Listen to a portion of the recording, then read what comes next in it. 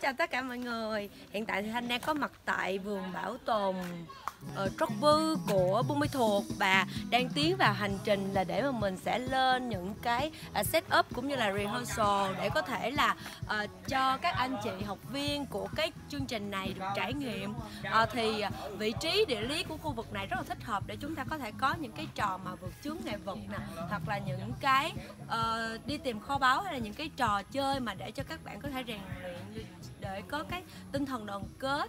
À, chúng ta có những cái trò team building. À, và vì cái um, tính chất của cái khu này thì nó khá là ma mị cho nên là uh, những cái game ở trong cái uh, uh, trong cái đợt này nè nó sẽ giúp cho các anh chị mình có thể là đi sâu vào bên trong của bản thân của mình để mà mình có được những cái giây phút mình tĩnh lặng mình nhìn lại vào bên trong của mình để mình có thể bứt phá hơn. À, mình xóa bỏ những cái nỗi sợ đó và mình sẽ vượt ra được. À, cho nên đó mới là cái trại này nó mới có được tên là trại luyện rồng. Có nghĩa là chúng ta sẽ vứt bỏ những cái nỗi lo những cái điều à, à đáng sợ trong cuộc sống để mà chúng ta có thể hồi sinh tái sinh và trở thành những con rồng chiến thật sự là mạnh mẽ các anh chị ha. À, chúng ta có thể là mình sẽ đi vào đây để mà mình xem. Ừ.